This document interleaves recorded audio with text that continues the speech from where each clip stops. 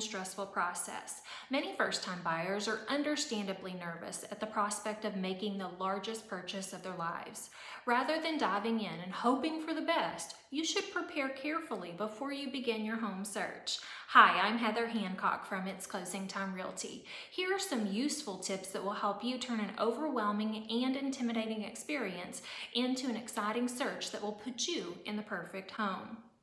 Tip number one, establish a realistic price range. A common mistake among first-time homebuyers is purchasing more house than they can actually afford. You should not rely on banks to determine what you can comfortably spend on a new home. Banks are adept at determining the amount of monthly debt in the form of mortgage, insurance, credit card, student loan, and auto loan payments, but they have no way of knowing what you spend each month on groceries, entertainment, utilities.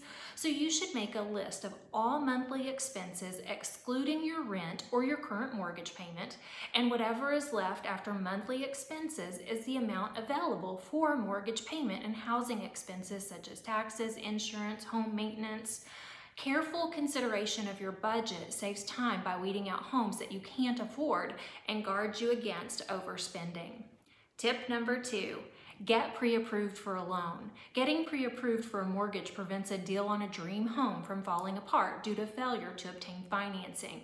You should compare loans from several lenders. Lenders are meant to be shopped so you can see which one best suits your needs. A pre-approval letter will give you some power to negotiate on a home's price because the seller is going to view a pre-approved offer more favorably than an offer that comes without lender pre-approval. Keep in mind that pre-approval is different from pre-qualification. During pre-qualification, Pre-qualification, the lender est estimates what you can afford. Pre-approval is a more involved process in which the lender looks at your credit report and performs an extensive financial background check. At this point, you'll get a good idea of the mortgage interest rate as well. Tip number three, set priorities. You should compile a list of what you need and want in a house. Needs might include the number of bedrooms, square footage, high quality schools, and commute time. These needs are aspects of the house that either cannot be changed or cannot be changed without substantial cost to you. Wants, on the other hand, are something you would like and that can be changed. Wants may include a pool or a hot tub, landscaping, or hardwood floors. Making a list of wants and needs helps you focus on what's really important in a house. Ideally, the new house will include all of the needs and a few of your wants. Tip number four, choosing the right neighborhood. Crime statistics, property taxes, and school quality are important considerations for you.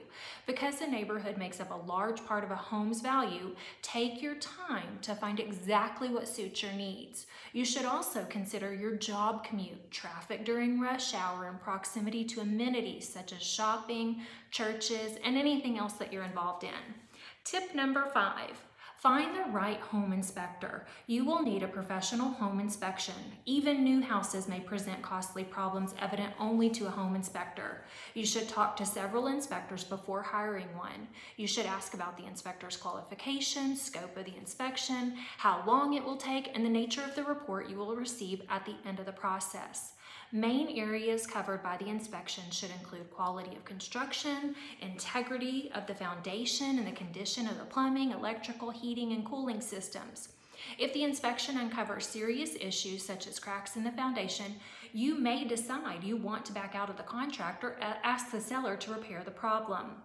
Following these tips will help keep the purchase of your first home hassle-free.